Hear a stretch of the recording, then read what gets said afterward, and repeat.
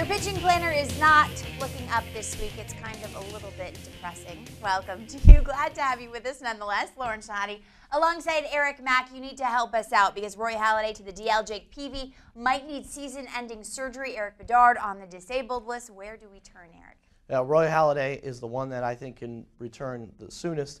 Uh, Jake Peavy might be out for the year, and you have to sink or swim with him. Um, you can't trade him because there's no one who's going to buy damaged goods. And then Erik Bedard, he has notorious shoulder problems. The Mariners were considering trading him before the deadline, but with the shoulder problem, they probably cannot do that. Roy Halladay, though, has a good chance of returning at the end of his 15 day DL stint.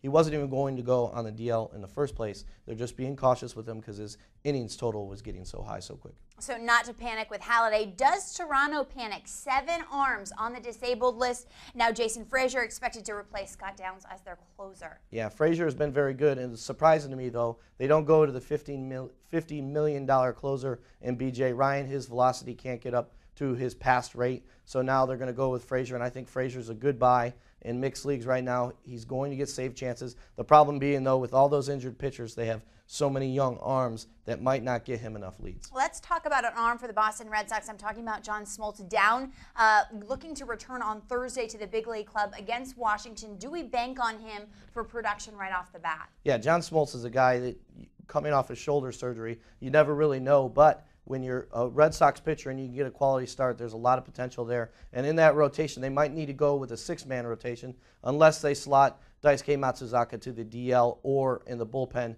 But when you look at that uh, six-man staff, they might go with that for a few turns and then maybe trade Brad Penny. There's been a lot of talk that uh, he's interesting to the Phillies. The Phillies sorely need a starting pitcher. You know what? For fantasy owners, it's not fun to hear what's wrong with Zach, Zack Greinke or what's wrong with Johan Santana, but we're saying that right yeah. about now, aren't we, Eric? Your two stars at the start of the season are, are, going through a little soft patch right now, but they're both healthy. Santana says he is healthy. Um, his back isn't a problem. The blister isn't a problem. The knee isn't a problem. So um, they expect good things out of Santana. I think you can trust him next week. Maybe that was just a one bad start thing, but Zack Greinke, he's had four starts in a row. He's uh, not been the ace that you expected. Um, this could be just a market correction. His ERA is still under two.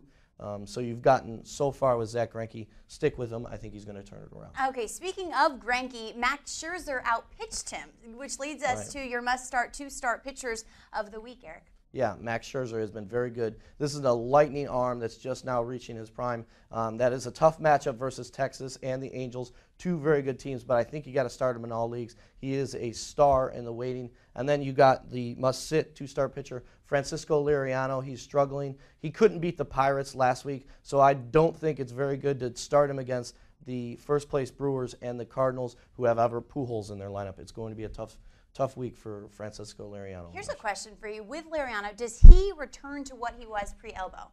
Yeah. In your eyes? Uh, I think there's still the potential that it happens, but uh, you got to be patient with him. You know, it, it, everybody returns from that injury at different rates. Sure. Liriano's taken just a little longer. Okay, be patient. Two start sleepers. Matt Palmer, he has owned in under 50% of leagues, yeah. right? He hasn't lost this year. Yeah, the rookie is Goodness, six and guys. the rookie is six and zero. Oh. He's going well. Four quality starts in a row, and I think Matt Palmer can start in all mixed leagues. And then the final uh, two-start pitcher sleeper, Trevor Cahill. Um, he's got his ERA under four at 3.89. Um, a very good young pitcher who is a little underrated, and the A's have been winning more games of late. Cahill, you can trust in those matchups with the Giants and Rockies. And you can trust you to give us fantasy advice. That pitching planner wasn't too depressing, was it? Go to www.relaunch.holidayinn.com this, or visit a local Holiday Inn near you. The signs of change are everywhere. As Eric Mack said pre-video, he wouldn't want to go to a local Holiday Inn. He'd want to go on vacation and go to a wonderful Holiday Inn, whatever you choose. For Eric Mack, I'm Lauren Shehadi. Thanks for watching.